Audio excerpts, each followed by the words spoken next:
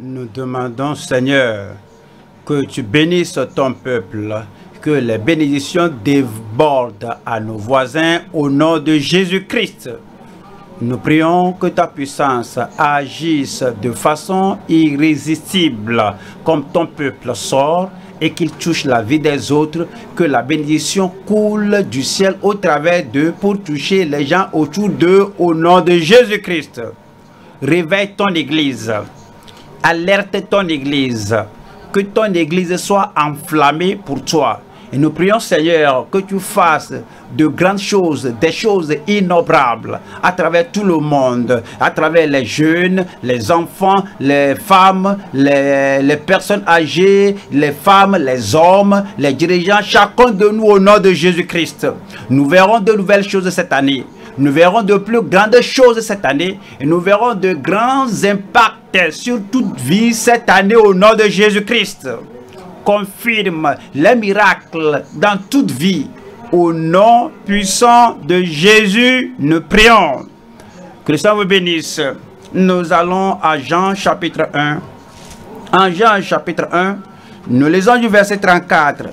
Prière d'ouvrir, prière ouvrir votre Bible. Jean 1, 34. Ici, Jean-Baptiste dit, il parle du Seigneur Jésus-Christ et dit, et j'ai vu, et j'ai rendu témoignage qu'il est le Fils de Dieu. Verset 35 nous dit, le lendemain, Jean était encore là avec deux de ses disciples. Et 36 dit, et ayant regardé Jésus qui passait et dit, voilà l'agneau de Dieu. Alors vous devez comprendre que Jean a présenté tout le monde dans sa parole. Dans sa parole, tout ce qui concerne quelqu'un avec sa vie, Jean en parle. Quand il voit quelqu'un dans son monde, il le connecte avec le Fils de Dieu, il le connecte avec l'agneau de Dieu. Alors il a dit à tout le monde dans son monde, à tout le monde dans le travail, le réseau avec lui, il a dit, voici, voilà l'agneau de Dieu. 37. Les deux disciples l'entendirent prononcer ces paroles et ils suivirent Jésus. Sa prédication était efficace, sa euh, proclamation était efficace quand il a dit voilà l'agneau de Dieu. Deux des gens autour de lui aussitôt se sont levés pour répondre à ce qu'il a dit et suivirent Jésus. Et 38 nous dit Jésus se retourna et voyant qu'ils le suivaient, il leur dit que cherchez-vous? Ils lui répondirent, Rabbi, ce qui signifie Maître, où demeures-tu? 39 nous dit, Venez, le dit-il, et voyez. Et comme vous abordez le Seigneur cette nuit, vous voulez rester avec lui, vous voulez demeurer avec lui, et vous posez toute question au Seigneur, toute question pour dire où es-tu, où vis-tu, que fais-tu, quelle bénédiction vas-tu me donner, comment vas-tu m'employer, utiliser cette année? Le Seigneur va vous dire, viens voir, vous allez voir. Vous allez voir les bénédictions cette année, vous allez voir des convertis cette année, vous allez voir la puissance cette année. Et le Seigneur va vous parler directement disant, viens voir. Et nous allons à 2 Corinthiens chapitre 5, verset 17. 2 Corinthiens 5, verset 17. Si quelqu'un est en Christ, c'est vous. Vous êtes en Christ cette année, vous serez pleinement en Christ.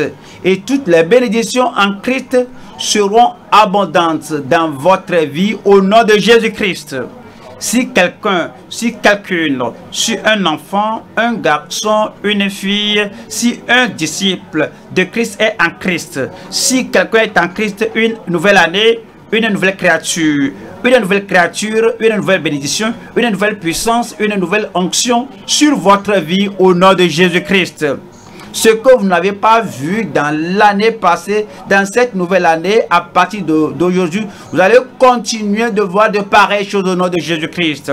les larmes, les vieilles larmes sont essuyées, le, vieux chagrin est ôté et toute maladie de l'année passée ne va pas vous accompagner jusqu'à dans cette nouvelle année au nom de Jésus-Christ. Une nouvelle puissance à vous, une nouvelle autorité pour vous, une nouvelle onction pour vous. Et partout vous allez, vous allez trouver toutes choses nouvelles. Et si quelqu'un est en Christ, il a une nouvelle créature. Les choses anciennes sont passées. Voici, dites-le moi le reste, toutes choses sont devenues nouvelles. Et maintenant que vous êtes en Christ et là, une, une, nouvelle créature que vous êtes maintenant, voilà le verset 19, le ministère que le Seigneur vous donne, car Dieu 19 dit, car Dieu était en Christ, réconciliant le monde avec lui-même, réconciliant le monde avec lui-même. Je veux que vous visualisez le monde comme un grand cercle, un globe. Et au sein de ce cercle, il y a de petits, petits, petits cercles. Et puis, là où vous êtes, alors il y a, il y a un cercle de relations autour de vous et, et, une relation un cercle autour de vous. Il y a père, soeur, frère, mère, étudiant et élèves, enseignants, pèlerins. Si vous êtes propriétaire d'école, c'est votre monde. Il y a un petit cercle là-bas et vous avez tous les gens dans votre monde. Ils sont dans ce cercle. J'ai des gens dans mon cercle. Vous avez des gens dans votre cercle. Et si j'atteins mon monde, vous atteignez votre monde. Nous tous, avec ces petits, petits cercles-là, nous allons atteindre le monde entier. C'est pourquoi le Seigneur vous a donné un ministère. vous a donné une responsabilité que vous allez euh, réconcilier votre monde et moi aussi je vais réconcilier mon monde avec Dieu au travers de Jésus-Christ. C'est dit que c'est de réconcilier le monde avec lui-même en n'imputant point aux hommes leur offense. Il a mis en nous la parole de la réconciliation. C'est l'œuvre qu'il vous a donné. Euh, il ne nous a pas donné une parole pour disperser les gens, une parole pour repousser les gens, une parole pour empoisonner les gens, amener l'acide dans les gens, mais il vous a fait de rassembler les gens. Vous allez rassembler les âmes. Vous allez attirer les âmes. Votre vie sera assez attrayante. Votre langue sera attrayante. Votre disposition sera attrayante. Votre action partout. Vous allez même en marchant, les gens vous, les gens vous regardant, alors vous serez attrayante aux gens et les amener à Christ au nom de Jésus-Christ. Et, et c'est dit, et il a, alors on réconcilie le monde avec lui-même. Et verset 20 nous dit, nous faisons donc les fonctions d'ambassadeur pour Christ.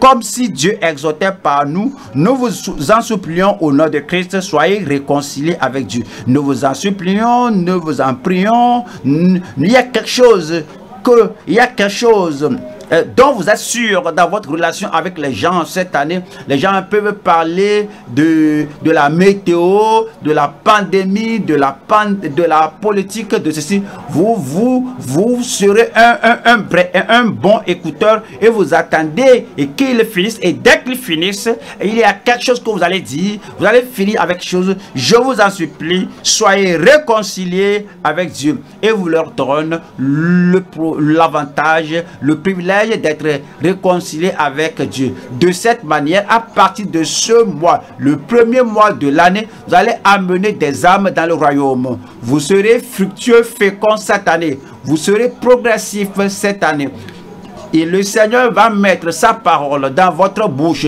Ce sera la parole de la, la parole de la réconciliation. Quelle que soit la question que les gens, le Seigneur vous donnera la, la réponse. Il vous donnera la solution. Vous allez attirer les gens au royaume de Dieu au nom de Jésus-Christ. Une fois encore, le thème est réconcilier votre monde à Dieu à travers Christ. Nous allons voir trois points. Premier point, cherchez le Seigneur une âme à la fois. Cherchez le Seigneur, une âme à la fois. Cherchez les perdus, une âme à la fois. Vous avez, euh, vous avez entendu parler d'André, il a cherché une personne à la fois. Faut pas chercher une grande foi, faut pas une grande foule, faut pas attendre une croisade, une grande foule, mais une foi à la fois. Une âme, une âme, et vous allez gagner au Seigneur. Deux, c'est partager son amour un pas à la fois. Son amour est large, son amour est profond, son amour est élevé. Vous ne pouvez pas tout partager. Alors en un moment, mais vous partagez l'amour de Christ avec les gens au moment où, ils boitent, au moment où ils ont des problèmes. Vous partagez cet amour un pas à la fois. Troisième point, c'est montrer sa vie, c'est manifester sa vie. Cela veut dire que comme vous parcourez cette année, vous ne montrez pas votre vie. Votre vie est limitée.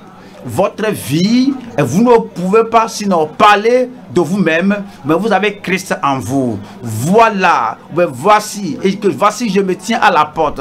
Si quelqu'un entend ma voix et dit que je et qu'il ouvre, j'entrerai.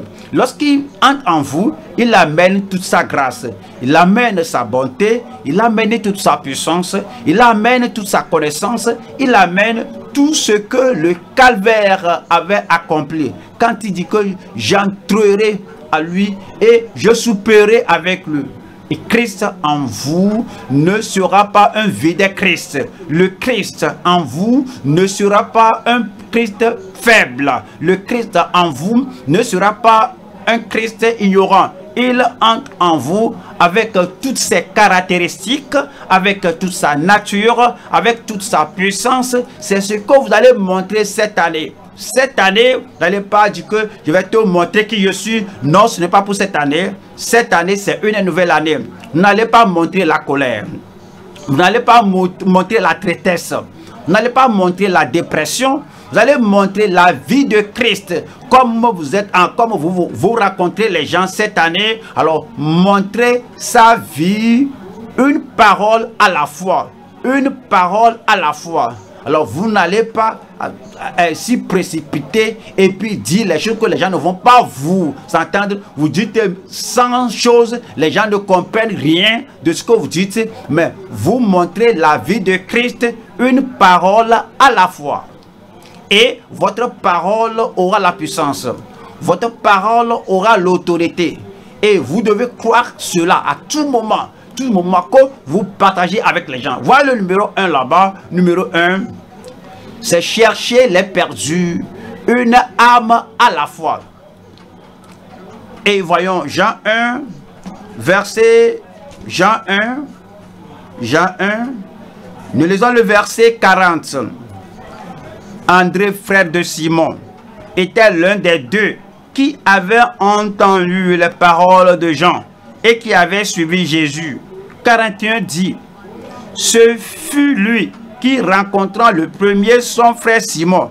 Ce Simon-là était proche de lui, c'était son frère, c'était c'est un homme dans son monde. C'est comme vous avez quelqu'un dans votre monde, un frère, une soeur, un père, une mère, quelqu'un tout proche de vous, un ami, un voisin, oui, un, euh, un colocataire. Ils sont dans ton monde. Ce fut lui qui racontera le premier son frère Simon. Il a fait un effort. J'ai quelque chose de bon. Je veux te le montrer. Je veux partager cela avec toi. Je veux que les autres y prennent part. Ce fut lui qui racontera le premier son frère Simon et lui dit, nous avons trouvé le Messie, ce qui signifie Christ. Et le verset 42 dit, et il le conduisit vers Jésus. Oui, il était très persuasif. Lorsque vous parlez cette année et vous connaissez, que vous êtes en relation avec les gens, que ce soit au téléphone ou vous envoyez un SMS aux gens, mais vous, communiquez, avec les gens sur, euh, les réseaux sociaux, sur Facebook, sur Twitter, euh, sur WhatsApp. Vous faites tout de façon persuasive, que ce soit dans la rue, que ce soit dans le voisinage, tout ce que vous faites, vous allez faire la chose à telle enseigne qu'il n'y ait personne qui dise, qui vous dise non. Simon a dit oui à André et vos voisins vos frères et les gens à qui vous parlez dans le passé et te disaient non, cette année c'est oui. Que quelqu'un me donne un bon oui. Et, et il le conduisit vers Jésus. Jésus l'ayant regardé, Jésus l'ayant regardé, dit, tu es Simon, fils de Jonas. Tu seras appelé Sépha, ce qui signifie pierre. Nous allons voir trois choses ici. Numéro un, la compassion pour une seule âme. La compassion pour une seule âme. Deux, la confiance en le Sauveur impeccable. Oui, André était confiant que si je, je, conduis mon frère à Christ, Christ ne va pas le rejeter. Et vous devez avoir cette même confiance comme vous amenez les gens à Christ. Christ ne va pas rejeter vos amis, vos voisins et les gens dans votre cercle d'influence. La confiance en le Sauveur impeccable. 3.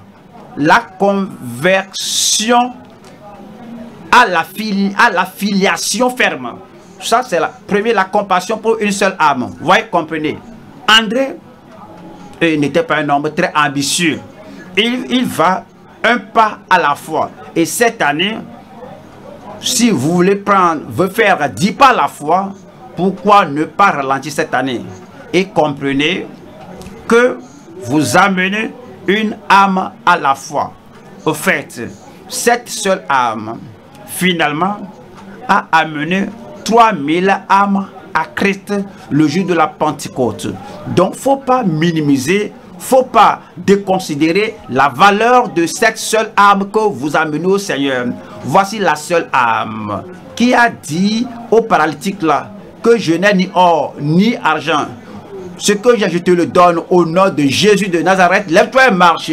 À cause de cette guérison, des foules sont encore venues au Seigneur. Mais vous voyez, André, André n'était pas comme un faiseur de miracles. Il a amené quelqu'un plus élevé que lui, plus grand que lui, plus réussi que lui, plus productif que lui. Il a mené à Christ. C'est pourquoi nous devons avoir la compassion pour une seule âme. C'est déjà lu en Jean chapitre 1, verset 41. Et voyons Marc 1, verset 40. Marc 1. Nous lisons le verset 40. Voici aussi une seule âme. Un lépreux vint à lui et se jetant à genoux, il lui dit d'un ton suppliant, si tu le veux, tu peux me rendre pur une seule âme, une seule personne. Et c'est au verset 41, Jésus, ému de compassion, étant dit, il avait la compassion pour cette seule âme. Il n'a pas dit que, euh, que je suis trop grand pour cela, je suis un grand sauveur, je suis venu sauver le monde entier, donc je ne vais pas avoir compassion pour une seule personne dans notre vie. Alors, soyons comme Christ, soyons humbles comme Christ, doux comme Christ, simple comme Christ. Si c'est une seule âme que vous avez devant vous, alors il faut tout faire, tous vos efforts conjuguer toute votre connaissance et l'amour que vous avez pour accoster les gens avec un sourire. N'accostez pas les gens avec euh, la répugnance, la colère, le, le avec la sainteté. Être, être amer et vous commencez à, à cogner la tête des gens, mais que la compassion se montre dans votre attitude, dans votre relation avec les gens, qu'il est l'amour pour une seule âme. Et c'est dit que Jésus, euh, ému de compassion, étendit la main, le toucha, le toucha, le toucha, et dit, je le veux, sois pur le verset 42. Gloire à Dieu, cela va se passer. Lorsque vous démontrez la compassion, ça va se montrer. Le Seigneur va agir, va travailler au travers de votre compassion, de votre amour, de votre voix. Il va travailler au travers de votre langue. Il va travailler au travers de votre touche. Et les miracles vont se produire dans la vie des gens au nom de Jésus-Christ. Aussitôt, c'est ainsi que votre miracle va venir. Aussitôt que quelqu'un crie aussitôt. Aussitôt, la lèpre le quitta et il fut purifié. Voyons la valeur de cette seule âme au verset 45. 45. Mais cet homme, ce lépreux, maintenant purifié, guéri, tout ce qu'il devait dire maintenant, regarde-moi, je suis maintenant différent maintenant. Tout ce que vous devez dire, regardez-moi, je suis maintenant différent. Tout ce que vous devez dire, c'est que Christ m'a touché. Et un miracle s'est produit dans ma vie. Mais cet homme, s'en étant allé, se mit à publier hautement la chose et à la divulguer de sorte que Jésus ne pouvait plus entrer publiquement dans une ville. Il se tenait dehors dans, dans, des lieux déserts. Regardez ceci. Et l'on venait à lui de toutes parts à cause d'une seule âme qu'il a guéri, à cause d'une seule âme qu'il a touché, à cause d'une seule âme qu'il a transformé. Et les gens venaient à lui. Alors, les gens venaient de Christ, les gens venaient à Christ de toutes parts. Cela va se passer. Allons à 1 Jean 3, 1 Jean chapitre 3, nous lisons le verset 17 qui dit, si quelqu'un possède les biens du monde et que voyant son frère dans le besoin, il lui ferme ses entrailles, comment l'amour de Dieu demeure-t-il en lui? Vous avez bien de choses, vous avez la connaissance, la connaissance du salut, la connaissance de l'évangile, vous avez la connaissance de la puissance de Christ, vous avez la connaissance de la vie éternelle et vous avez aussi des biens matériels. Alors, alors vous dites que vous avez la compassion. Si, si on a la compassion, on doit toucher la vie des autres. On va présenter, euh, on, va, présenter les autres à la bonté de Dieu et viendront Seigneur au nom de Jésus-Christ. Voyons le numéro 2 ici. Numéro 2 ici, c'est la confiance en le Sauveur impeccable. La confiance en le Sauveur impeccable. Voyez Jésus-Christ. Jésus-Christ est le Sauveur. Mais il est aussi impeccable. Il est sans péché. Et il est irrépréhensible. Il dit, je ne mettrai pas dehors celui qui vient à moi. Et André a cru en cela. André espère cela. Et que, oui, j'amène Pierre, j'amène Simon, mon frère, à Christ. Et André avait cette confiance.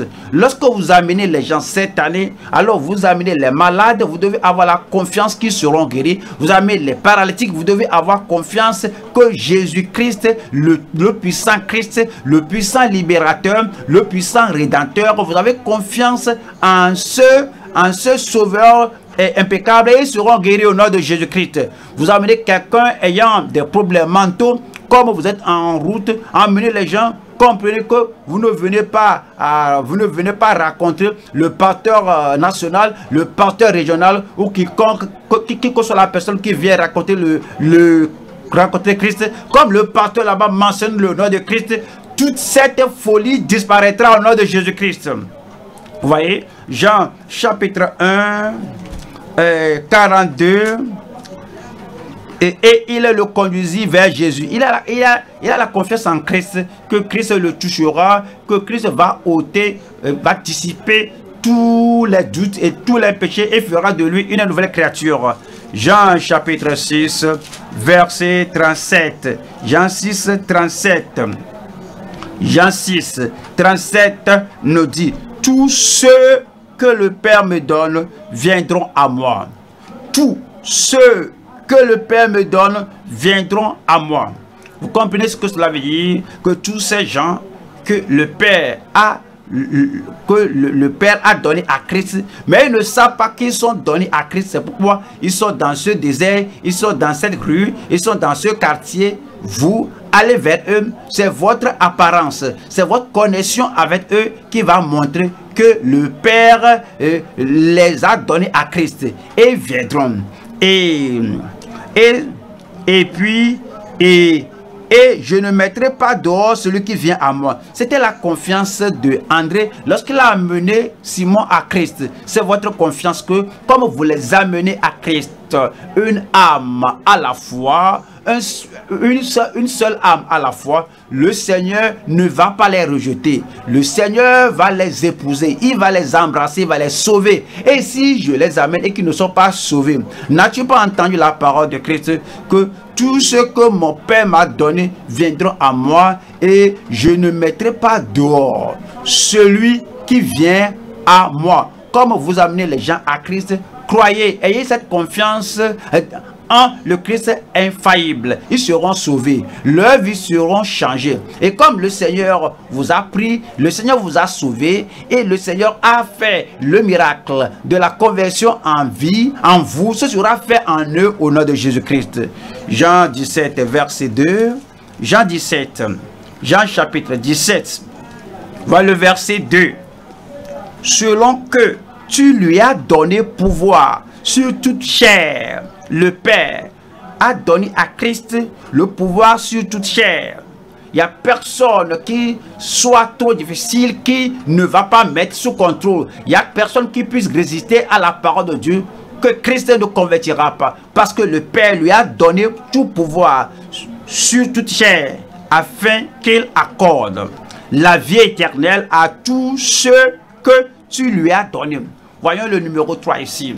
Le numéro 3 ici, c'est c'est la conversion à la, la conversion à la filiation inébranlable. Alors, lorsque nous amenons les gens au Seigneur, nous devons comprendre que les gens vont se repentir, les gens croient au Seigneur Jésus-Christ. Alors, à combiner tout cela, la repentance euh, de la foi en Christ amène le salut, la conversion. Lorsque les gens sont convertis, ils ne vont pas euh, se voir stables ferme. Mais le Seigneur Jésus, en Jean 1, 42, 42 dit, Jésus l'ayant regardé dit, tu es Simon, fils de Jonas, tu seras appelé Céphas, ce qui signifie Pierre. Ce qui signifie Pierre.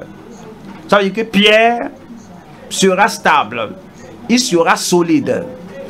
Pierre sera inébranlable le Seigneur Jésus a regardé ce que Pierre sera dans l'avenir, ce que Pierre sera après le salut, ce que Pierre deviendra après la sanctification, ce que Pierre sera après avoir reçu la puissance du Saint-Esprit, ce que deviendra Pierre, que Pierre sera ferme, vous serez ferme. Pierre sera solide, vous serez solide. Pierre deviendra fiable, vous deviendrez fiable au nom de Jésus-Christ. Le Seigneur, a, le, Seigneur, le, Seigneur regarde, le Seigneur regarde chacun de nous, pas ce que nous sommes maintenant, il nous regarde pas selon notre histoire passée, et nous regarde selon ce que nous deviendrons. Vous serez stable. Et voici Pierre. Il est devenu enfant de Dieu. Voici le Pierre qui a confessé le nom du Seigneur. Voici ce Pierre que le Sahédrin, les Sahédrins et les Sadduciens ont dit que n'avons-nous pas défendu, n'avons-nous pas interdit de parler encore en ce nom? Et voici, vous avez rempli Jérusalem de votre doctrine. Et Pierre stable, Pierre solide, pas comme un rocher, un rocher branlable, un rocher qui n'est pas confiant, que, nous devons obéir à Dieu plutôt qu'aux hommes. Et cette stabilité, cette solidité le Seigneur l'amène dans votre vie au nom de Jésus-Christ. Jésus-Christ, et Jésus leur avait dit, allez vous aussi n'allez-vous pas vous en aller, vous aussi Pierre a dit, qui irons-nous Nous sommes ici, nous sommes ici. Aucun vent ne peut nous balloter. Aucun défi ne peut nous emporter. Aucun message ne peut nous, ne ne, peut nous, dire, ne peut nous déranger qu'on te fuit parce que nous avons reçu la vie éternelle en toi. Alors il est devenu, il est devenu solide et inébranlable. C'est ce qu'il a dit aux autres. En deuxième Pierre 3, deuxième Pierre 17. Deuxième Pierre 3, 17, et que le Seigneur m'a tué et m'a rendu, solide. Alors je vous transfère la même chose. Pierre a dit, vous donc, vous serez femme, vous serez ferme, vous serez solide. Deuxième Pierre 3, 17, vous donc, bien-aimés, qui êtes avertis, mettez-vous sur vos gardes, de peur qu'entraînés par l'égarement des impies, vous ne veniez à déchoir de votre fermeté. Non seulement qu'il était devenu ferme, il est devenu un encouragement aux autres qu'ils soient aussi fermes. Vous serez fermes au nom de Jésus-Christ. Nous avons vu le premier point qui est chercher les perdus, une âme à la fois. Allons maintenant au deuxième point. Deuxième point qui est partager son amour un pas à la fois. Un pas à la fois. Vous rappelez bien le, passage qui a dit que quand Dieu a aimé le monde, qu'il a donné son Fils unique, afin que quiconque croit en lui ne périsse point, mais qu'il ait la vie éternelle. Cet amour est si profond, cet amour est si étendu, cet amour est si élevé, cet amour est si inexhaustif inépuisable, plus profond qu'une, qu'un océan, plus, plus large qu'une mer. Alors, et illustrons un, enseignant qui, est, euh, qui a fréquenté, il a passé euh, école primaire, euh, secondaire, université, mais elle est venue enseigner les collégiens en sixième. Voici ce qui venait de passer de l'école euh, primaire, il ne peut pas sinon euh, démontrer toute sa connaissance universitaire sur, ses, sur ses élèves. Il va, il commencer à les enseigner, à leur enseigner une matière à la fois, une idée à la fois, une partie infinitésimale de ce qu'il avait pris, ce qui signifie, ce qui, euh, ce qui suffit déjà pour réveiller l'enfant là et le faire avancer. On a connu l'amour de Dieu, on veut partager l'amour de Dieu, on fait cela une fois, un pas à la fois. Rappelez-vous, lorsque vous parlez à quelqu'un, votre voisin, quelqu'un dans votre monde, votre père, votre mère, votre enfant, votre ami, vous leur parlez une âme à la fois. Rappelez-vous que vous n'allez pas leur dire tout ce que vous connaissez de l'amour de Dieu. Vous allez leur dire, vous allez leur parler de l'amour de Dieu pour ce moment-là. Une, un pas à la fois. Allons voir trois points ici. Eh confirmez votre amour en confirmer votre amour en suivant Christ. Vous ne pouvez pas, si vous allez montrer l'amour de Christ, vous-même, vous devez, vous devez, vous devez goûter l'amour de Christ. Confirmez votre amour par, en suivant Christ. Deux, appelez une autre personne aimablement. Appelez une autre personne aimablement en suivant Christ. Alors, il y a une façon d'appeler quelqu'un et la personne va se voir insultée. A une façon d'appeler quelqu'un et la personne va se voir sinon très effrayée. Il y a une manière d'appeler quelqu'un, tu dis viens. Il y a une personne, il y a une façon d'appeler, de dire viens. Et la personne va dire mais je sais pas ce qu'il va me faire. Je sais pas si c'est ce qui va m'arriver. Mais si vous les appelez aimablement, lorsque quelqu'un vous appelle, lorsque quelqu'un vous appelle à venir recevoir l'évangile, vous avez senti, éprouvé l'amour là. Il y a quelque chose de bon qui m'arrive, il y a quelque chose de bon qui m'attend, je veux recevoir quelque chose de bon. C'est quand vous êtes arrivé, quand on vous appelle, alors alors, alors si on si si on si on t'introduit la panique, la crainte avec le, avec ce ton, tu vas voir, tu vas voir. Alors, cela ne va pas t'amener, tu ne pas tu ne seras pas à l'aise. Deux, vous amenez, vous appelez quelqu'un aimablement à suivre Christ. Trois, vous continuez d'aimer et de suivre Christ. Voyez, numéro un, numéro un, c'est confirmer votre amour tout en suivant Christ. Et Jean chapitre 1, verset 43. Jean 1, verset 43. Le lendemain, Jésus voulut se rendre en Galilée et il rencontra Philippe. Il lui dit, suis-moi. Lui-même, Christ, a trouvé Philippe, si Christ si élevé, si grand, Christ éternel, s'il pouvait passer le temps regardez autour de lui. Et lorsque vous marchez, vous pas regarder en bas, regardez le visage des gens.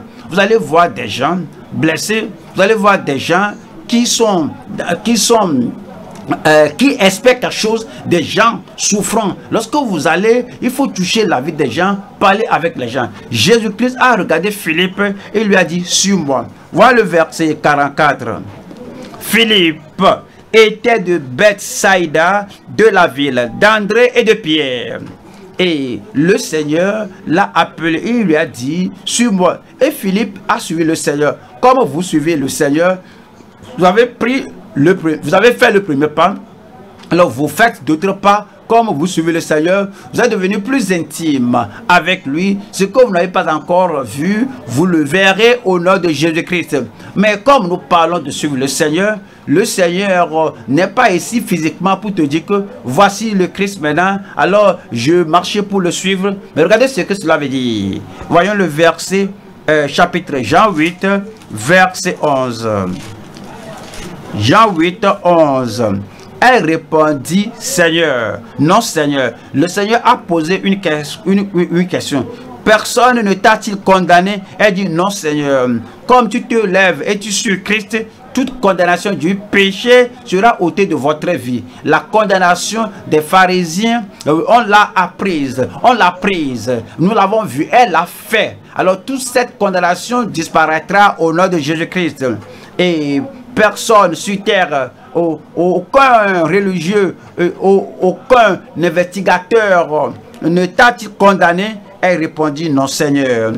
Dès que le Seigneur Jésus-Christ ne te condamne pas, aucune, aucune, autre aucune autre condamnation ne peut prendre effet dans votre vie au nom de Jésus-Christ. Quand Jésus te dit, je te pardonne, j'efface tes péchés, aucune, aucune condamnation pour ceux qui marchent selon l'esprit et non selon la chair. Vous n'êtes plus condamné au nom de Jésus-Christ. Même Satan ne peut pas vous condamner. Même vos anciens camarades de classe ne peuvent pas vous condamner. Votre ancien partenaire de, péché ne peut plus vous condamner. Vous êtes pardonné, vous êtes affranchi. Votre nom est écrit dans le livre de, de vie au ciel personne ne vous condamnera au nom de Jésus-Christ. Et Jésus lui dit, je ne te condamne pas non plus. Va et ne pêche plus. Vous devez comprendre que la parole de Christ est toujours puissante. Lorsque l'aveugle est venu le voir, Jésus lui dit, mais que veux-tu que je reçoive ma vue? Jésus lui a dit, reçois la vue, la vue. Et la puissance est allée avec la parole. Elle a recouvré sa vue. La main de quelqu'un était sèche. Jésus lui a dit, étends ta main. Et la puissance est allée avec la parole. Et elle, la personne a étendu sa main. Quelqu'un était lépreux. Et il dit que tu es purifié. Et puis la, purification est venue aussitôt. Lorsque Jésus dit à cette, à cette femme, comme il vous dit, comme il vous dit, va et ne pêche plus, la puissance va entrer dans votre ville. Alors l'habileté, la force de mener une vie, de victorieuse, la victoire que vous n'avez jamais connue, vous allez connaître cette victoire au nom de Jésus-Christ. Voyons le verset 12 maintenant et voyons la signification de suivre Christ. C'est que cela veut dire de suivre Christ. Jésus leur parla de nouveau et dit, je suis la lumière du monde. Celui qui me suit, voyez cela, celui qui me suit quel est le résultat? Quelle est la conséquence, l'implication? Celui qui me suit ne marchera pas dans les ténèbres. Tous les pouvoirs des ténèbres sont partis au nom de Jésus-Christ. Si vous êtes membre d'une secte, ou dès que vous levez, vous suivez Christ, vous abandonnez cette secte, ce groupe-là, vous ne marchez plus dans les ténèbres. Si vous étiez dans une dans un groupe occulte, vous faites des choses des ténèbres. Dès que vous suivez Christ là, toutes ces choses vont disparaître. Et celui qui Christ, euh, celui qui me suit ne marche pas dans les ténèbres. Si vous étiez dans une alliance secrète, dans un accord euh, secret avec quelqu'un et vous complotez contre la vie de quelqu'un dans les ténèbres, nous allons faire ceci, on va faire cela. Dès que vous venez à Christ, toute cette controverse et toutes ces choses que vous, tout ce que vous planifiez dans les ténèbres vont disparaître. Vous êtes maintenant un homme de lumière, une femme de lumière, et vous suivez la lumière du monde, et la lumière va briller dans votre vie au nom de Jésus-Christ. Et c'est dit, il, il ne marchera pas dans les ténèbres, mais il aura la lumière de la vie. C'est ce que cela veut dire, de suivre le Seigneur. Lorsque vous suivez le Seigneur, vous n'allez pas suivre une voie étrangère au nom de Jésus-Christ. Voyons, Jean chapitre 10, versets 4 et 5. Jean 10, verset 4. Lorsqu'il a fait sortir toutes ses propres brebis, il marchait devant elles et les brebis le suivent. Si vous êtes né de nouveau, c'est ce que vous faites. Alors tout ce que vous voulez faire, partout où vous voulez aller à tout moment, alors vous allez vous demander si Jésus est dans cette situation, si dans cette nouvelle année, dans le physique, que fera-t-il? Et que fera Ce que Christ fera, c'est ce que vous allez faire. Alors, comment Christ parlera-t-il? C'est-à-dire que vous allez parler. Comment agira-t-il? C'est de cette manière que vous allez agir. Comment Christ touchera-t-il les autres vies? C'est de cette manière que vous allez faire. Christ va-t-il se renfrogner? Christ va-t-il s'énerver? Christ va-t-il se bagarrer? Christ va-t-il s'énivrer? Tout ce que Christ fera, c'est ce que vous allez faire. Même il était persécuté, quoi qu'il soit euh, mécompris, on et alors on n'a pas vu de parole coléreuse de sa bouche. La même chose, celui qui me suit ne suivra pas ce qui est mauvais. Euh, et, et, ces gens connaissent sa voix. Et verset 5, elles ne suivront point un étranger. Vous n'allez pas suivre un étranger. Vous n'allez pas suivre un faux prophète. Vous n'allez pas suivre euh, même et ces gens-là qui mettent leur prophétie sur l'internet, des choses étrangères que, ces gens disent, peut-être que ce soit dans les journaux, ou bien va t'envoyer un voisin, au lieu que tu, tu, les, tu leur évangélises pour Christ, ils vont vous évangéliser pour Satan. Cette personne, personne ne réussira sur votre vie à vous évangéliser pour Satan au nom de Jésus-Christ. Elles ne suivront point un étranger, mais elles feront loin de lui parce qu'elles ne connaissent pas la voix des étrangers.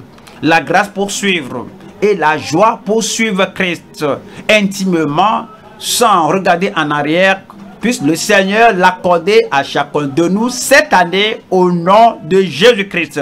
On voit numéro 2 ici. Numéro 2, c'est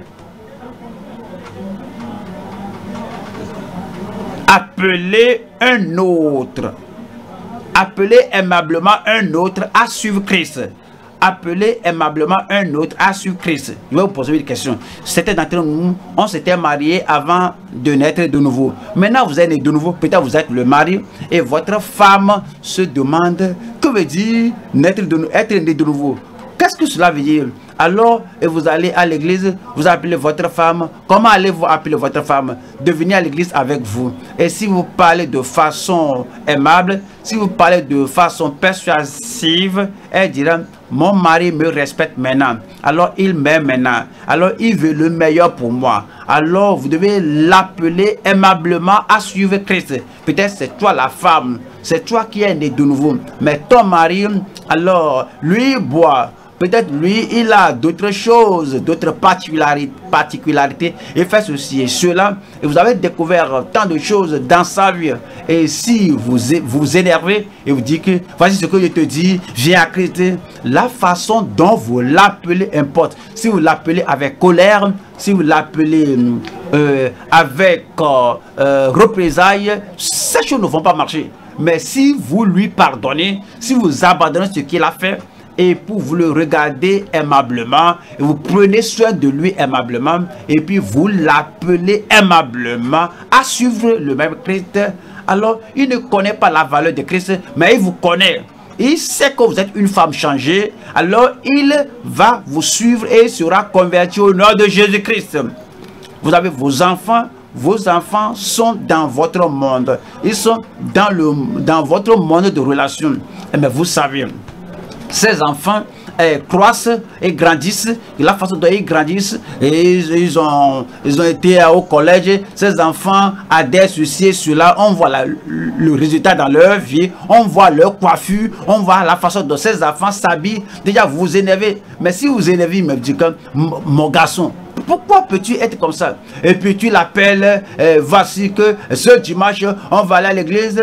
Mais si tu appelles ton enfant de façon colérique, l'enfant ne sera pas persuadé. L'enfant veut te montrer que je ne suis plus un garçon de 3 ans auquel tu parles la fois passée. Et puis tu prends le bâton, tu me bats. si tu veux me battre, voici moi, il t'étend la main, voici ma main, bats-moi, je suis prêt. Mais tu peux, tu peux, tu, peux traiter tes enfants de façon aimable. Si tous ces gens, les, tes jeunes frères, alors, ils doivent trouver quelque chose qu'ils apprécient, qu'ils aiment. Vous devez les toucher en ce point d'amour et vous les appelez aimablement à suivre Christ. Voyons Jean, chapitre 1, verset 45. Philippe rencontra Nathanaël et lui dit, nous avons trouvé celui de qui Moïse a écrit dans la loi et dont les prophètes ont parlé, Jésus de Nazareth, fils de Joseph. Et il s'est dit au verset 46. Voyons 46. Voici ce que Nathanaël a dit. Nathanaël lui dit, peut-il venir de Nazareth quelque chose de bon? Comment le comprenez-vous? Il parle de Jésus et Philippe a dit que, ce Jésus de Nazareth, nous l'avons trouvé. Mais regardez le langage avec lequel il répondait. Comment allez-vous sentir si quelqu'un parle de telle manière, ou, il parle de que ton sauveur, votre ton pasteur local, vous aimez votre pasteur, vous le respectez, et puis vous, la, vous appelez quelqu'un, et que allons, allons à l'église, vous allez, on va entendre parler de Jésus, quelque chose de merveilleux va se passer, va et puis quoi, et ton pasteur là, et puis il a mentionné son nom, et puis il dit que Dieu, et puis tu as mentionné euh, euh, euh, l'origine de ton pasteur, et quelque chose de bon peut-il arriver, peut-il parvenir de, provenir de Nazareth? faut pas perdre votre tête. faut pas perdre votre tempérament. faut pas perdre quelque chose. La vertu de Christ en vous va demeurer au nom de Jésus-Christ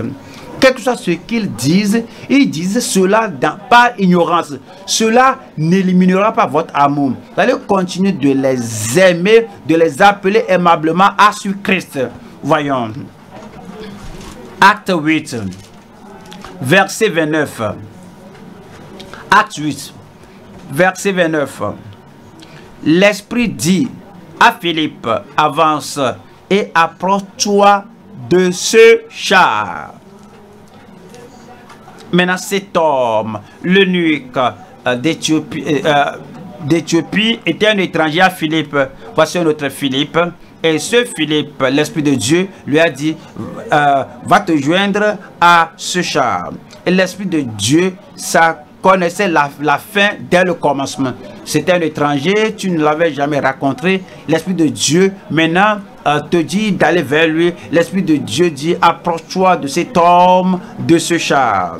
Quel que soit ce que l'Esprit de Dieu dit, quelque chose de bon va sortir de cela. faut pas dire que non, je l'ai jamais raconté, je le connais pas, comment je peux parler à un étranger? L'Esprit de Dieu dit à Philippe, approche-toi approche-toi, approche-toi de ce char. Si vous devez inviter les gens, vous devez les aborder. Si vous êtes à distance, alors c'est comme vous allez au marché, alors euh, cela va, c'est comme aller au marché va ôter la sainteté de vous, comme parler avec les gens va ôter la sainteté de vous, ou bien parler votre dialecte à, la femme là, à, que l'homme la comprend. C'est comme en parlant votre dialecte va ôter la sainteté de vous. Si vous agissez de façon à, montrer que je ne peux pas m'approcher de lui. C'est un étranger à la grâce de Dieu. C'est un étranger au salut. C'est un étranger à moi. Donc même la façon dont il s'habille, la, la façon même il se présente, c'est un étranger. Si on est comme ça, et puis on garde la distance,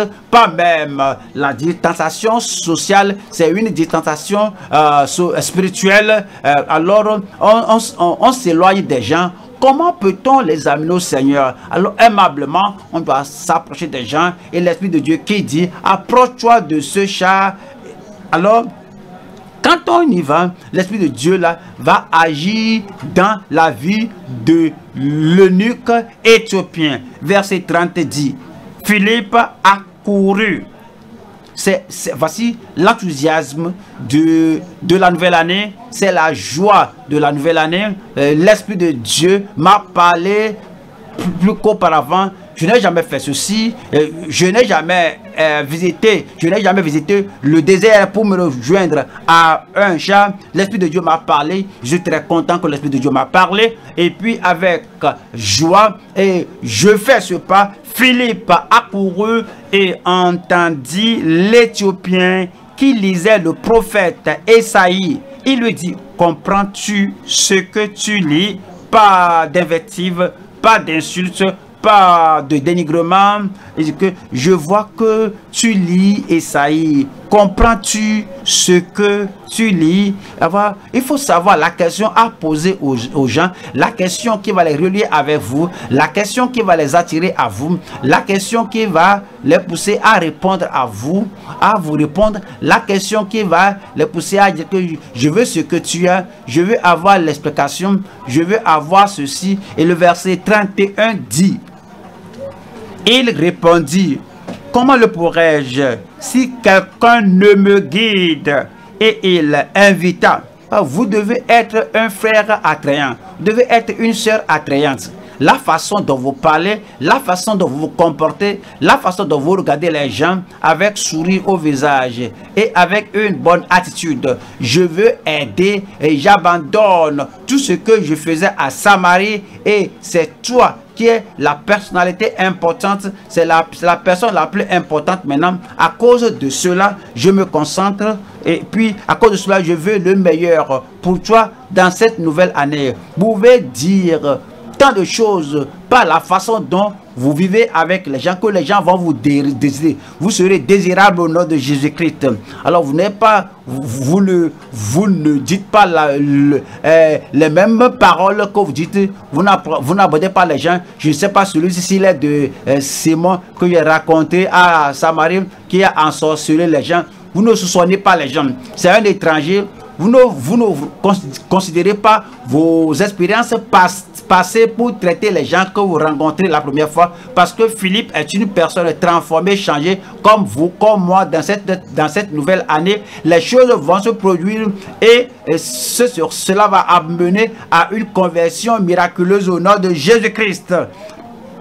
Et puis, et il invita Philippe à monter et à s'asseoir avec lui. Verset 32 dit le passage de l'écriture qu'il lisait était celui-ci. Il a été mené comme une brebis à la boucherie et comme un agneau muet devant celui qui le tond. Il n'a point ouvert la bouche. Et 33 dit, dans son humiliation, son jugement a été élevé et sa postérité qui la dépeindra. Car sa vie a été retranchée de la terre. Et verset 34 dit, l'eunuque dit à Philippe, je te prie, de qui le prophète parle-t-il ainsi? Est-ce de lui-même ou de quelqu'un autre? Voilà ce qui est arrivé ici. L'eunuque n'a jamais rencontré Philippe. Philippe ne connaissait pas l'eunuque. Et maintenant, c'est étranger. Ils sont étrangers l'un à l'autre. Mais l'eunuque, maintenant, a sa, confiance en Philippe. Euh, peux-tu avoir la confiance en quelqu'un que tu rencontres la première fois? La façon dont Philippe a posé la question, la façon dont Philippe s'est comporté, la façon dont Philippe euh, lui a expliqué tout, l'eunuque maintenant a cru que Philippe a la réponse. Les gens que vous contactez, les gens avec lesquels vous vivez, la façon dont vous vivez avec les gens va faire savoir aux gens que vous avez la réponse. Vous avez la réponse. Euh, la réponse à leurs problèmes, vous avez la réponse. La solution à leur chagrin, vous avez, vous avez la solution. Alors, alors avec confiance maintenant, Philippe a dit, et qui est celui-ci? Est-ce que celui-ci là, est-ce qu'il est parle de lui-même ou d'une autre personne? Verset 35. Alors Philippe, ouvrant la bouche, alors Philippe, ouvrant la bouche, il a des gens, il parle à quelqu'un de près quand il parle et il mâche les mots. Et, il n'ouvre pas la bouche pour que ce qu'ils disent soit distinct. La personne à qui vous parlez, s'il vous plaît, qu'est-ce que vous dites? Je ne, comprends pas ce que vous dites. Et la personne euh, reprend. Alors après euh, euh, deux phrases, on ne comprend pas ce que tu dis. Mais si vous allez vivre avec les gens, vous devez vivre avec eux comme vous parlez à une personne familière, vous parlez à votre fils, comme vous parlez à votre femme, avec votre ami, vous n'avez pas peur. C'est la peur qui paralyse les gens et les gens parlent de façon réservée qu'on ne comprend pas. Alors, ils ne sont pas en termes clairs, ce qu'ils disent. Alors, comme vous rencontrez quelqu'un, la personne ne vous connaît pas. Si vous parlez rapidement, la personne pourra ne pas vous comprendre. Mais si vous parlez euh, sinon en jargon, la personne ne comprend pas. Si vous employez un vocabulaire étranger à l'étranger, il ne peut pas comprendre. Mais quel est l'objectif de parler à cette personne? Est-ce pour montrer que vous, que vous avez été à, l'université, que vous avez le dictionnaire en vous, ou bien c'est pour montrer que vous connaissez comment euh, utiliser les vocabulaires français, ce n'est pas l'objectif. Si vous voulez gagner quelqu'un, devez parler de façon à faire comprendre à la personne et doucement. Et Philippe a ouvert sa bouche et commençait et, et commença par le même passage. Ouais, ce que le nuque lisait, alors il a commencé par là. Alors vous commencez de, du connu à l'inconnu. L'homme connaissait déjà le livre d'Esaïe et l'homme la connaissait déjà que cela fait partie de la Bible. Et l'homme la savait que voici un prophète et Dieu parlait par ce prophète de la Bible. Donc le nuit maintenant savait que cet homme-là que vous connaissez déjà, cet homme-là, ce livre qu'il lisait déjà, c'est l'interprétation et, et, et dit. Et puis il prêcha Jésus. Quel que soit votre euh, euh, titre, devait finir par dire, par parler de Jésus. Il est le sauveur, rédempteur. Euh, quel que soit ce que vous dites, quelle que soit l'écriture que vous, vous, vous, dites, que ce soit en Genèse, dans les psaumes, la personne pose une question en Apocalypse, vous commencez là-bas et vous devez finir par parler de Jésus. Parce que vous comprenez, ce n'est pas Esaïe qui va les sauver, ce n'est pas Matthieu qui va les sauver, c'est ce qui était écrit au sujet de Christ que vous appliquez, que vous, vous mettez en thème clair qui va conduire cela, qui va les conduire à Christ et ceux seront sauvés et nés de nouveau au nom de Jésus-Christ. Vous aurez des convertis cette année. Et puis, comme vous lisez tout le récit, l'homme a dit que voici l'eau. Qu'est-ce qui m'empêche d'être euh, d'être baptisé. Et Philippe dit, si tu crois de tout ton corps, cela est possible. L'eunuque répondit, je crois que Jésus est le Fils de Dieu. Il était euh, baptisé et la joie du salut est venue. Et puis il s'en allait, euh, joyeux, ayant la vie éternelle au salut. Avant de, avant de quitter ces gens, alors, alors vous êtes en contact avec eux et la vie éternelle leur sera accordée au nom de Jésus-Christ. Numéro 3 ici maintenant de cette session, c'est continuer d'aimer et de suivre Christ. Continuez d'aimer et de suivre Christ. Comme vous avez commencé d'aimer Christ, vous devez montrer cet amour et vous devez continuer. Je vais vous faire rappeler le temps vous étiez marié, ou bien connaissez la volonté de Dieu, et puis cette soeur maintenant a dit oui, ou le frère a dit oui, et vous devez aller euh, pour euh, les fiançailles, peut-être dans un bâtiment d'église, ou bien dans un bâtiment, dans, dans, la maison de votre pasteur, ou bien dans euh, une personne nue, avant que vous ne sortiez, regardez les nuages.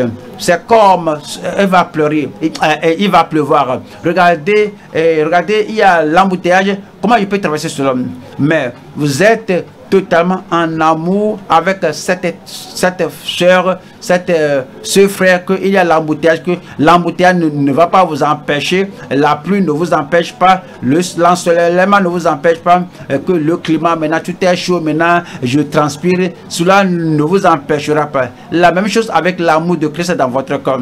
Quel que soit ce qui se passe, on dit qu'il y a la pandémie, la pandémie n'est pas pour vous. On dit qu'il il y a il y a l'embouteillage, l'embouteillage n'est pas pour vous. Et vous êtes totalement en amour avec le Seigneur Jésus-Christ. Vous continuez, vous continuez, vous continuez dans son amour. Alors, toutes les fois que vous voulez le prier, toutes les fois que vous voulez vivre avec lui, toutes les fois que vous voulez montrer que Jésus-Christ est le numéro elle, est le premier amour dans votre vie. Voyons Jean 15, Jean 15, Jean 15, verset 8.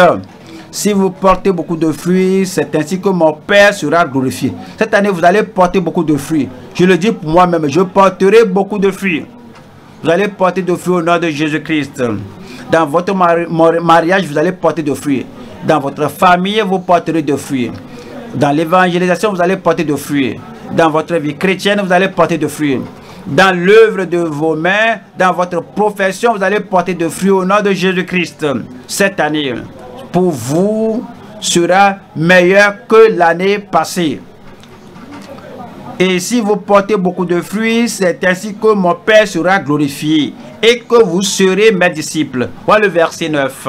Verset 9 dit, comme le Père m'a aimé je vous ai aussi aimé. Jésus vous aime-t-il? Je dis, Jésus vous aime-t-il?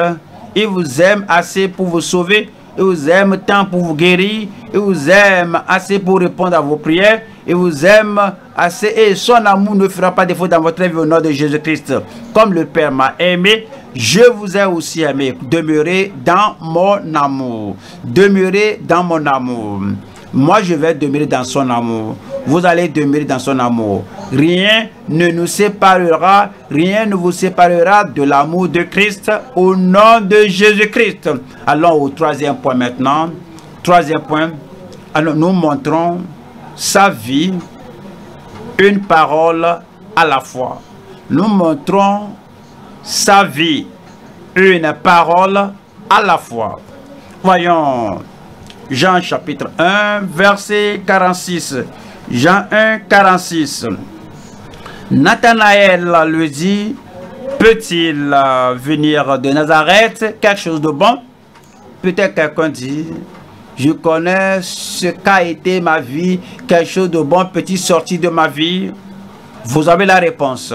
Il dit, cette année, mais vous vous rappelez, même janvier, 1er janvier, vous savez ce qui s'était arrivé, et vous avez dit cela, et vous été en Christ, vous dites quelque chose de bon, quelque chose de grand, quelque chose de merveilleux va se produire, et dit quelque chose de bon peut-il euh, venir cette année, quelque chose de bon. Vous dites, mais d'où venez-vous? Il que je suis, je viens de tel lieu, que viens quelque chose de bon vous attend. Et, puis il vous raconte l'histoire. Vous savez, notre village, notre vie, il n'y a rien de bon qui vienne de cela. Je, je me rappelle celui-ci, celle-là, telle personne, dès qu'il veut s'élever comme ça, quelque chose va les désorganiser.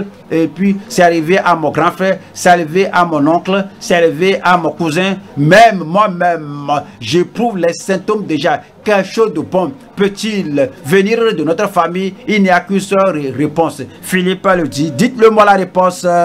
viens voir. Et je vous invite cette année, euh, viens voir. Viens voir l'amour de Christ. Viens voir sa vie. Viens voir le miracle. Viens voir sa puissance. Alors vous allez voir cette année au nom de Jésus-Christ. Alors, faut pas prolonger cela. Il faut seulement une, une, phrase simple. Parce que vous montrez sa vie, une parole à, à la fois. Nous allons voir trois choses ici. Numéro un, viens et vois. Viens et vois. Quand vous dites cela, il faut le dire avec confiance. Viens voir. Si tu dis cela, dis avec foi. Viens voir. Si tu dis cela, dis cela avec assurance. Viens voir. Viens voir. Toi-même. Tu verras la bonté du Seigneur au nom de Jésus-Christ. Numéro 2. Le, soin et le partage. Quand vous voyez les gens, qu'est-ce qui montre que vous avez le souci et vous prenez Alors vous avez le souci et vous prenez soin le, souci et le soin. Et toi, c'est-à-dire l'attachement et le service. Vous vous attachez au Seigneur, vous servez. Et numéro 1, c'est viens et vois. Jean 1, verset 46. Nathanaël lui dit, peut-il venir de Nazareth quelque chose de bon? Faut pas argumenter. L'argument ne gagne pas les gens. L'argument gagne un point. C'est comme un débat. faut pas débattre avec les gens. Tout ce que vous dites. Si ces gens peuvent venir à Christ, Christ va changer leur vie de façon positive et pratique et en permanence au nom de Jésus-Christ. Donc, il n'y a pas une façon de gagner un argument. Viens voir, je n'argumente pas avec vous. Je vous dis que cette année, quelque chose de plus grand que vous ayez vu, vous arrivera au nom de Jésus-Christ. Alors, si vous demandez là-bas, mais regardez ce pasteur, regardez ce pasteur, tout ce que je peux vous dire cette année, c'est de venir et de voir. Si vous venez, vous allez voir.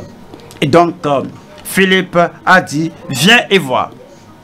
Voyons, psaume 60, psaume 66. Psaume 66, verset 7. Il domine. 66, verset 6. Il changea la mer en une terre sèche. On traversa le fleuve à pied. Alors nous nous réjouîmes en lui. Verset 7. Il domine éternellement par sa puissance. Ses yeux observent les nations. Que les rebelles ne s'élèvent pas. Et verset 8.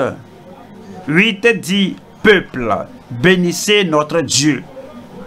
Faites retentir sa louange. Et verset, verset 5, cela nous dit, venez, et contempler les œuvres de Dieu. Dans cette nouvelle année, je vous invite à venir contempler le salut du Seigneur. Venez voir la puissance de Dieu. Venez voir l'accomplissement des promesses de Dieu. Venez voir les œuvres de Dieu. Il est redoutable quand il agit sur les fils de l'homme. Vous allez voir, je verrai, moi je verrai vous, savez, lorsque la reine de Séba était invitée à voir Salomon, elle ne savait pas que elle verra des choses merveilleuses. Finalement, elle était arrivée. Lorsqu'elle était arrivée, elle avait dit que, que, que la moitié même ne lui avait pas, ne, ne, lui avait pas été, ne lui avait pas été dite. Lorsque, oh, lorsque de mon pays, je suis venu voir tout ce que j'ai vu ici, toi-même, tes serviteurs ta gloire. Je suis venu, j'ai vu, je vous dis, au, départ, au commencement de cette année, je vous dis de venir voir. Vous n'avez rien vu. Les miracles sur miracles, la puissance sur puissance, la gloire de Dieu. Venez voir. Vous allez dire, comme la reine de Séba, que la moitié ne vous a même pas été dite. Je viens et j'ai vu. Vous viendrez et vous allez voir au nom de Jésus-Christ. Esaïe 52. Esaïe 52, verset 10. L'Éternel découvre le bras de sa sainteté aux yeux de toutes les nations et toutes les extrémités de la terre verront le salut de notre Dieu. Toutes, toutes les extrémités, tout le monde. Vous êtes là? Le verrez-vous Où êtes-vous? Que vous, que vous soit fait selon votre foi au nom de Jésus-Christ. Numéro 2. Maintenant, c'est de, de, de prendre soin, de soucier, c'est de prendre soin et, et, et servir. Jean, Jean 1, 1, 45. Philippe raconte à Nathanaël, vous rappelez-vous, vous devez rencontrer quelqu'un dans votre monde. Vous devez rencontrer un proche, un frère, une soeur, que ce soit euh, votre grande votre petit, que vous soit un, quelqu'un qui soit proche de vous. Et c'est dit ici que Philippe raconte Nathanaël et lui dit, nous avons trouvé celui de qui Moïse a écrit dans la loi et dont les prophètes ont parlé, Jésus de Nazareth, fils de Joseph. Et verset 46 dit, Nathanaël le dit, peut-il venir de Nazareth? Quelque chose de bon, Philippe lui, lui répondit, ce que vous allez dire à ce frère, à cette, à cette soeur, qu'allez-vous dire? Viens et vois.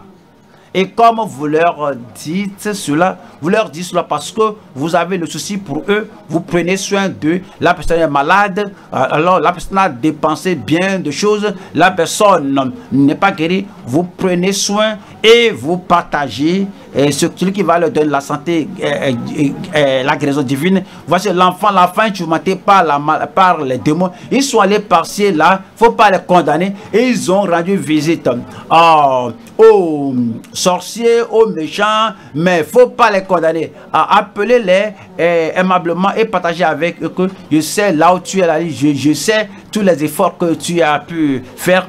Je t'appelle. Voici le dernier arrêt de but pour toi. Tu, de bus pour toi, tu auras ton miracle. Vous dites cela avec euh, confiance parce que vous prenez soin d'eux et vous partagez. Et Dieu fera de vous une personne qui prend soin au nom de Jésus-Christ. Ce que vous partagez avec eux, le Seigneur va confirmer cela au nom de Jésus-Christ. Allons à Somme 66. Psaume 66 et verset 16. Cela parle du, du, soin que vous avez. 16. Et venez, écoutez, vous tous qui craignez Dieu, et je raconterai ce qu'il a fait à mon âme. Vous avez vraiment soin, vous avez vraiment soin de que, tu partages, que vous partagez le témoignage que, que vous étiez et ivrogne. Voici ce que vous avez fait, voici ce que Dieu a fait, voici la puissance de Dieu dans votre vie. Venez écouter, vous tous qui craignez Dieu, et je ce qu'il a fait à mon âme. Alors, vous étiez, euh, là, vous, êtes, vous étiez presque à la mort, mais le Seigneur vous a touché, vous étiez guéri. Alors, vous, vous avez vraiment le soin dans, dans votre cœur que vous, vous rendez votre témoignage que venez vous écouter, vous tous qui craignez Dieu, et je raconterai ce qu'il a fait à mon âme. Vous avez vraiment une vous avez vraiment une caractéristique dans votre caractère et que cela fait que alors, alors personne ne veut s'approcher de vous parce que les gens savent que s'ils s'approchent de vous, Voyez ce que vous allez faire. Mais le Seigneur Jésus-Christ a pris votre vie et vous a changé. Alors maintenant, vous êtes une personne meilleure au nom de Jésus-Christ. Vous êtes une personne meilleure. Et toute votre euh, amertume s'est tournée, s'est changée en douceur. Votre langue est douce. Votre parole est douce. Vos soins sont doux. Les gens maintenant veulent s'approcher de vous. Vous voulez maintenant leur dire comment cela s'est passé. Parce que vous avez vraiment le, soin au cœur pour euh, prendre soin d'eux. Et c'est dit, et, vous, et c'est dit, venez écouter vous tous qui craignez, je raconterai ce qu'il a fait à mon âme. Vous aurez assez à partager, des témoignages sur témoignages. Vous aurez beaucoup de choses à partager parce que votre vie deviendra meilleure. Votre vie deviendra plus éclatante. Votre vie deviendra plus large et plus grande, même dans votre quartier au nom de Jésus-Christ. Vous allez partager parce que vous prenez soin des gens. Est-ce que je parle à quelqu'un aujourd'hui? Vous allez partager. Ce que vous partagez va les attirer au Seigneur au nom de Jésus-Christ. Numéro 3, c'est de s'attacher et servir. C'est de s'attacher et servir. Attacher, c'est que vous êtes, vous êtes joints ensemble.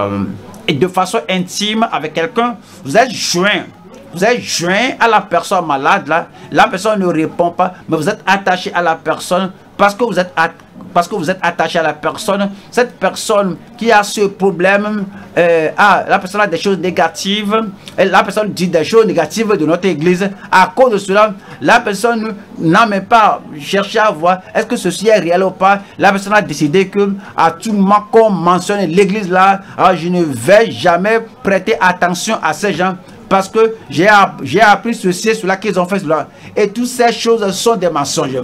Mais il ne faut pas permettre à cela de vous chasser. Vous devez vous attacher et vous servir. le Seigneur fera usage, usage de votre vie, comme vous vous, vous vous attachez à eux, comme vous les aimez, comme vous continuez de les inviter au nom de Jésus-Christ. Voyons ceci, Jean 1, verset 47. Jésus voyant venir à lui Nathanaël, comprenez cela? Philippe n'a pas dit, ah, tu dis que quelque chose de bon peut venir de Nazareth Va-t'en. Mais il s'est attaché à lui, il est resté avec lui jusqu'à ce qu'il l'ait amené. Nous parlons de l'évangélisation par amitié. Il ne faut pas seulement contacter les gens et puis les abandonner. Euh, on parle de l'évangélisation dans le voisinage. Il ne faut pas seulement aller leur donner euh, euh, du papier et les, les, abandonner. On, parle, on parle de l'évangélisation sur les réseaux sociaux. Il ne faut pas seulement dit des choses et puis oublier. Non, on s'attache jusqu'à ce que les gens répondent. Les gens vont répondre au nom de Jésus-Christ. Jésus, voyant venir à lui Nathanaël, dit de lui, voici vraiment un Israélite dans lequel il n'y a point de fraude. 48. D'où me connais-tu? lui dit Nathanaël. Comprenez ce que Philippe a dit a commencé de s'accomplir. Viens voir Viens voir quelqu'un qui te connaît avant que tu ne le connaisses. Viens voir quelqu'un qui a toute connaissance au sujet de tout le monde et il connaît tes problèmes même avant que tu ne dises cela. Alors il va t'amener la solution à la ta vie. Alors viens voir. Et Nathanaël a dit que d'où me connais-tu? Lui dit Nathanaël. Jésus lui répondit avant que Philippe t'appela quand tu étais sous le figuier, je t'ai vu. Regardez ceci. C'est exactement ce que Philippe lui a dit. Viens voir. Alors que tu n'as jamais vu pareille personne. Il connaît ton passé, il connaît ton présent, il connaît ce que tu deviendras demain. Alors, il va faire de toi une célébrité, il va faire de toi une personne réussie, il va faire de toi une personne progressive, et alors il va transformer ta vie. Tout ce que tu dois faire, c'est de venir voir. Et puis, Verset 49. Nathanaël répondit et lui dit, Rabbi, il a appelé Rabbi, eh ben, il a oublié ce qu'il avait dit, quelque chose de bon petit venu de Nazareth, ils oublieront, ils les, les inepties qu'ils avaient dites dans le passé. Et dit ici, eh, Rabbi, tu es le fils de Dieu, tu es le roi d'Israël. Voilà le verset 50. Jésus lui répondit, parce que je t'ai dit que je t'ai vu sous le figuier, tu crois. Maintenant, il est mené croyant. Chacun, comme Nazareth, que vous, Philippe, amenez au Seigneur, ils vont croire au Seigneur au nom de Jésus-Christ. Ils vont croire, ils auront le salut. Ils vont croire, ils seront guéris. Ils vont croire, ils auront la délivrance. Ils vont croire et ils feront le progrès dans leur vie au nom de Jésus-Christ. Et Jésus et Jésus lui répondit et, dit, et tu verras de plus grandes choses que celle-ci. Et je suis seulement un porte-parole du Seigneur. Voyez ce que le Seigneur vous dit au travers de ce moyen, que cette année, vous verrez de plus grandes choses que celle-ci. Vous verrez de plus grands miracles que ceux-ci. Vous verrez de plus grandes puissances que celle-ci. Vous verrez de plus grands progrès que celui-ci. Vous verrez de plus grandes percées que celle-ci. Tous les miracles que vous avez vus, toutes les percées que vous avez vues au, départ, combiner tout, amasser tout, rassembler tout, amonceler tout. Le Seigneur vous dit au travers de ce moyen que vous verrez de plus grandes choses que ces miracles au nom de Jésus-Christ. Votre vie sera votre vie sera incroyablement impeccable et glorieuse. Ce qui n'est jamais venu dans votre tête les bonnes, les grandes bénédictions de Dieu, comme vous vous attachez au Seigneur, vous servez le Seigneur, vous verrez ces choses au, nom de Jésus-Christ. Verset 51. Et il lui dit, en vérité, en vérité, assurément, assurément, certainement, certainement, vous verrez désormais, comme vous demeurez avec le Seigneur, comme vous vous attachez au Seigneur, désormais, vous verrez désormais le ciel ouvert. Regardez ce que Philippe lui a dit. Viens voir. Viens voir. Le Seigneur confirmait cela. Que tout ce que Philippe t'a dit, viens voir, viens voir. Tu vas voir, tu vas voir. Je connais ta vie. Tu as vu que maintenant, je t'ai dit que tu es un homme euh, sans fraude. J'ai ôté tout, tout, tout, trop de ta vie et dans le salut, la conversion. Tu as vu cela maintenant. Tu vas voir de plus grandes choses. Tu verras la sanctification. Tu vas voir de plus grandes choses. Tu vas voir le baptême du Saint-Esprit. Tu verras de plus grandes choses. Tu verras la fécondité au nom de Jésus-Christ. Et il dit, vous verrez désormais le ciel, sera ouvert sur vous.